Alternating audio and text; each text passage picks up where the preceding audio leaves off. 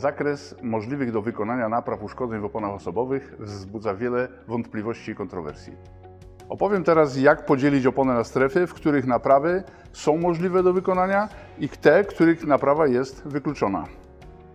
Opona radialna osobowa zbudowana jest z dwóch stref stopki, dwóch ścian bocznych, dwóch stref barku i jednej strefy czoła. Strefa stopki wyklucza wykonanie jakiejkolwiek naprawy, nawet wtedy, kiedy jest tylko zdeformowana lub uszkodzona konstrukcja.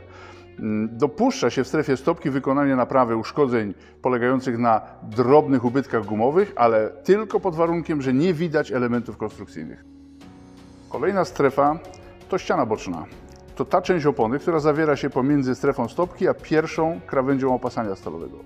W tej części opony możliwe jest wykonanie naprawy uszkodzenia, ale pod pewnymi warunkami. Część bieżną opony natomiast dzielimy na strefę barku i czoła. Strefa barku to 10% z każdej części krawędzi opasania stalowego, 80% część bieżnika to czoło. Najwięcej wątpliwości wzbudza pytanie, czy można wykonać naprawę uszkodzenia ściany bocznej opony.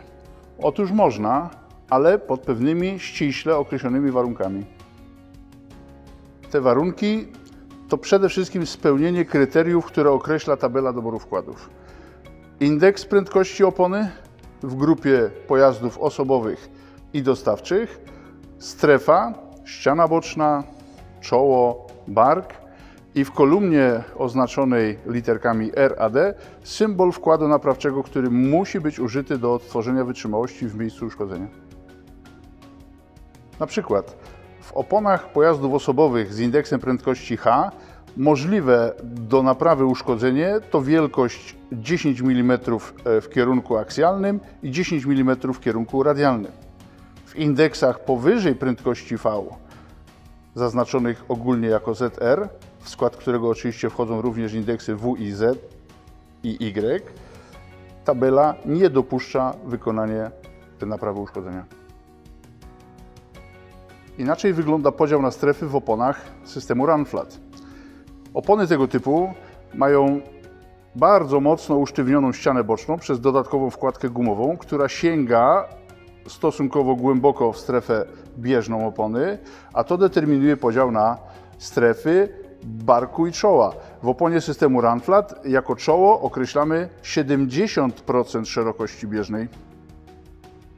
Z tego powodu producenci materiałów naprawczych dopuszczają wykonanie naprawy uszkodzenia tylko w strefie 70% czoła opony i tylko jeden raz i tylko materiałem typu kołek minikombi.